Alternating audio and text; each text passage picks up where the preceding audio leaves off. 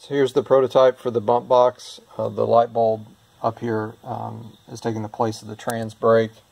I have a timer in the middle, solid state relay on the right, and then two buttons. We have the trans brake button on the left, and then the bump button on the right. Um, and I currently have the timer set to a tenth of a second. That's adjustable. So if you were staging, you would engage your trans brake with the first button, and then if you needed to bump, you just press the second button. You need to bump again, press it again. And then when you're ready to launch, then you just let off the trans brake button.